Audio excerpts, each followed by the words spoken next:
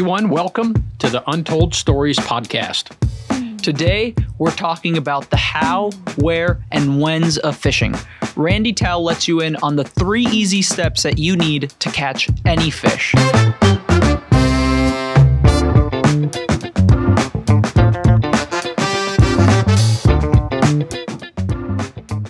Let's get right into it.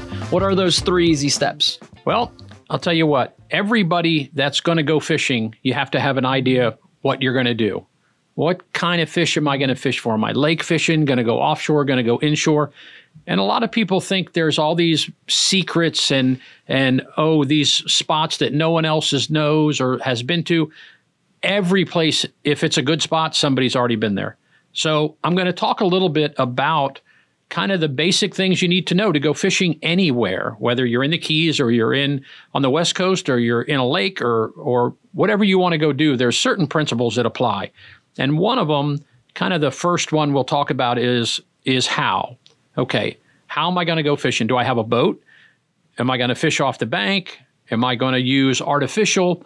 Am I going to use bait?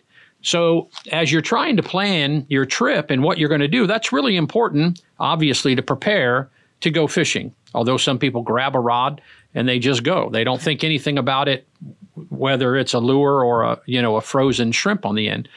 But if you if you kind of take these steps and you apply them to what you're going to do, it's going to help you. Because let's face it, there's no such thing as good luck, right? It's all preparation, opportunity, and timing, being at that right place at the right time. Really, 40 years of guiding, I can tell you, it's not luck. It certainly, I have been blessed to be in places that I didn't think I would be at at the right time, but I was, and uh, and learned a lot. So the how is pretty important. So start with that to get your equipment together. If you're going to get bait, where am I going to go get my bait? If I'm going to catch it, if I'm going to buy it, I got to keep it alive to get from point A to point B. Going to need to keep it alive in my boat. So it sounds like a lot and it sounds complicated, but it's really not because it's routine. Once you do it, and once that's the way you're going to be fishing, it's pretty simple after that. I wanted to ask you because I know the answer to this question, but I want everybody else to kind of have a little bit of an idea of how you work and how your mind works. And I wanted to ask you when exactly or at what point in the day or at what point with a charter do you decide where you're going to go fishing and what you're going to target? Well as a as a guide i've got to figure that out when i leave the dock. So in the mornings you know for me a lot of times and i'm going to get into to this as we go into this podcast and talk about it but there's things that you have to recognize with the wind big a big thing is wind for us here. Is it a north wind, a south wind, an east wind? Is it going to be blowing all day? Um, what are the tides? You know, what do I think these people want to do? What do they want to catch? Most people that I fish with, they just want to go fishing. They want to have yeah. a good time, and I'm going to put them on whatever I think is going to be the best success yeah. for us to do based on the conditions and what we have to deal with. Because remember, you can have a wish list three pages long, but if the conditions are not in your favor to yep. do it, you're going to struggle. And why waste that time doing something that's not going to work? Um, there's always something to catch in the Keys. That's the beauty of being down here. There's something that you can find to do. So, you know, it's funny because I've been asked that question many times. And when I leave the dock and we ha- have a conversation with my people and we're kind of getting a game plan together, my mind now is racing and I'm looking at the tide and I'm trying to figure out and I've got about a mile, mile and a half from the Lorelei to the intercoastal marker. And at that point, I'm either going left or right.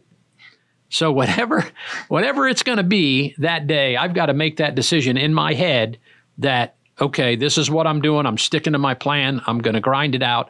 You know, good, bad, or indifferent. This is what we're going to do. And and that's when I really decide what's yeah. going on. If I've had a slow day and I'm not doing much, I'm constantly going to the next spot, going to the next spot, trying this and trying that. Some days I'll go to two spots all day and I'll have a phenomenal day because it's it's right. You know, the conditions right, the tide's right, whatever it is, the fish are there. But you know, there's days you struggle. That's part of it. it it's it's that way for everybody. There's no easy easy day. It looks easy, but you know, there's stuff that go to it. So throughout the day, if fishing's good, I, I hope it's good in the morning and it really takes the edge off for the rest of the day. I had a trip um, a few years ago. We didn't, we had no fish. It was one o'clock in the afternoon. We're on our way home. And literally, I drove by an overhanging tree on a shoreline and it just, it looked right. You know, the water looked good. The water was clean. It was high. It was moving. The wind was in the right direction. And I told my guys, I go, hey, let's stop and give this spot 10 or 15 minutes. I just, it really looks good. So now, the other side of that little story, real quick, is I'm always looking for opportunities. I'm always looking for a condition that might favor a fish being there. Because you never know. You're you're driving over fish all the time. You have no idea because you can't see them. They're not going to wave to you when you go by. So you have to be, you, your mindset has to always be at attention, looking for something. We spun around, went back to the tree, and we caught 30 snook and 20 reds. And we made the day on our way home, stopping at that one spot. We caught 50 fish. Yep. And it was just one of those things. Had I not been paying attention or looking on my phone, I'd have probably went right by it. But I was still in the hunt. And that's what it is. It's a game, it's a hunt. You know, you're looking for that, everything to line up. So, you know, that's that's really how it goes. And, you know, the how we had we had bait we had our rods we had everything ready so we were prepared if something came along the where i was in the right place at the right time when was the right time and and we capitalized yeah. so that's that's some of the things that goes through my head when i'm fishing and when i leave the dock but um, getting back to the to the where you know most people think oh i need a gps so i can have all these secret spots I've got over 1,200 spots on my GPS, and I could give them to you, and you could go to all of them. Chances are you might not catch much because you don't understand when to be there or how to fish it. You know, people that spend time on the water, they learn the spot and they learn how to do what they're doing intimately because they do it over and over and over, and this doesn't work, and they try this. So when people say, Oh, I've been fishing for 30 years, well, no, you haven't you fish five days a, a year for 30 years. Yeah. You know, you don't you don't have it figured out because you haven't put enough time in. And even even on the internet, you know, watching YouTube videos and watching fishing shows, which are all great, what goes into making those work is so time consuming you have no idea. They shorten it up, obviously, for for the show and to make it look like it's pretty routine. But some of those shows are time consuming and you struggle putting it together. So the where is about being uh, open to what does the water look like? What's the tide doing? What's the wind doing? Those things that I talked about earlier. I like the wind and the current go in the same direction because most of the time it gives me a much better water flow and it's like a conveyor belt, right? So the water's moving, the fish are moving, the fish are feeding into the tide, the bait's moving. If I don't have any current and that water's just stagnant, it's like everything just kind of floats around. You know, there's no direction to it. So you might have some fish to the left or to the right, but you don't get them lined up like you do when you have current. So I like current and the wind. When the wind's against the current, therefore the the wind the current gets slowed down because the wind pushes it down, slows it down. So those are just some of the things that once you start learning what it takes to look for, then it becomes a lot more interesting and fun because you start finding these places on your own. You don't know if someone's ever fished there, and it's not something that your buddy told you to go do. You have done it on your own, and that that's what it's all about. That's the exciting part and the reward about fishing offshore or backcountry. That's that's kind of the goal. But you need to understand what to look for. So the wind is a big part of it because do you go in the morning? Do you go at night? Do you go you know, on a full moon, on a new moon, there are so many different things about when to go fishing that I look at it because I know what to look for. There's two types of fishing for me, whether you go fishing or you do not go fishing. Those are the two types of fishing. Now, it is it is important to understand though when because timing is so important. You know, the timing of being in that spot Maybe it's a low tide spot. Maybe it's a high tide spot, uh, you know, an outgoing, an incoming. So all of those little variables make make up such a huge part of the puzzle. And if you can document when you've had success, so you've been to this spot, it was on an incoming tide, it was in the afternoon, it was in April, you know, and each month of the year is different too. Sometimes fish aren't in the area in in a certain time of the year. They're there other times. So you pay attention to all these things, and after a while, you build up kind of your own little database of where I was and what happened and and what works and oh this is an incoming tide. So where you stretch that out a little bit is when you start going to these places on those conditions you've had good results and it's not working. Because remember they have tails. So they're going to swim to the next spot or they're going to swim on the other side of the flat. So sometimes you got to look around a little bit if they're not there because they might they might have moved a little bit. So it's a lot of trial and error. It it is, but that's part. that's part of it. Yeah you know, but but it's important, and those are basic, just basic rules of thumb to go fishing. If you kind of start with stuff like that, it will help you understand how to go do it. Because if I give you those GPS numbers and you go and you say, "Man, you sent me to this snapper spot, I didn't catch anything." Well, when did you go? Oh, it was a it was in January on a north wind. Well, you can't go out there on a north wind. You know, that's just the wrong time of year. September, October, live pilchards, you know, there's a there's a reason, there's a story to back up the success of it.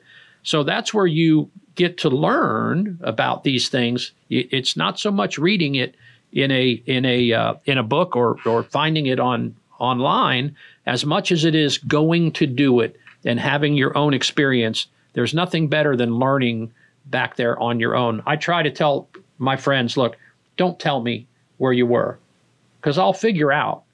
If you had a good day, I'll figure out what you did. And and that's the fun of it. You know, I like finding my own stuff and if you've ever fished with me, we're usually not in a crowd. Yeah. And things are constantly changing with hurricanes and with the red tide and all the stuff going on in the Everglades.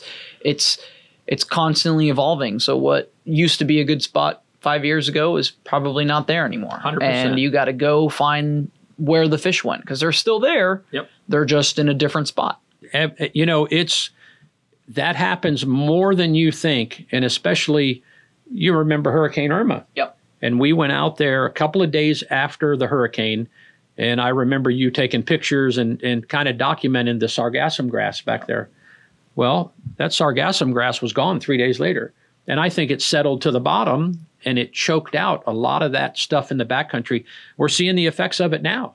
You know, here it is, uh, tarpon season 2022.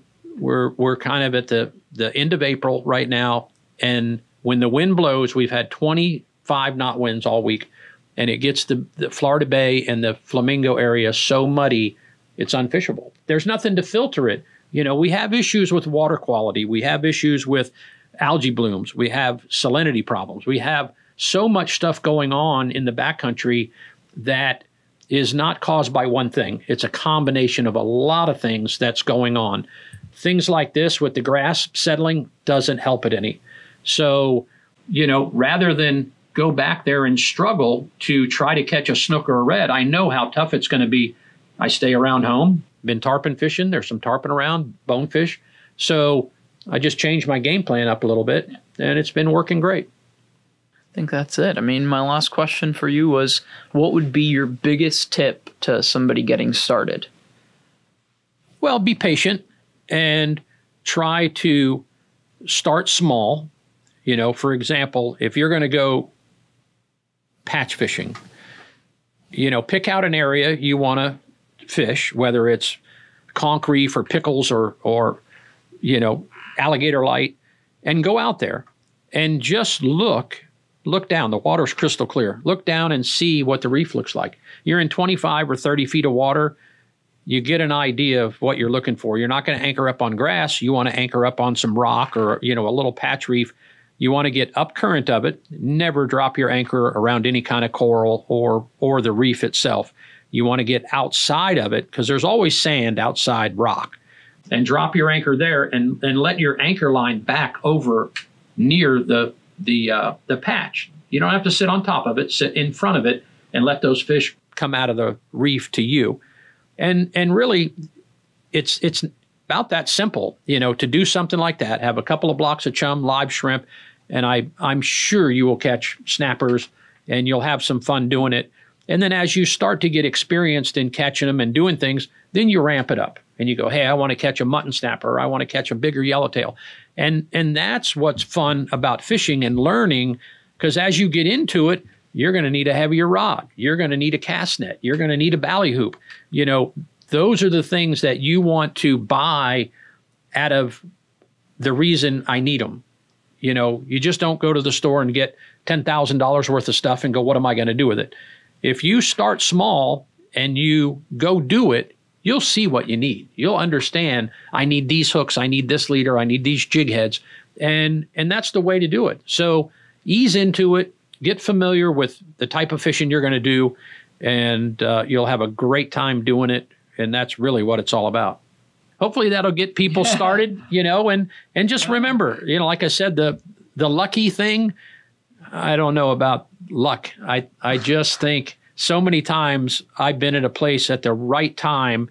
You'll know it. You'll know when you're at the right place at the right time because it's it's a magical moment where the fish are biting or the things are working you know, when they're not working, they're not working. You know, everything's against you, whether it's the conditions or or or uh, you know, no fish even. So just keep that in mind, and you'll have a great time doing it. And I hope this helps. And until next time. Yeah. All right. That's the Randy Towe Untold Stories podcast.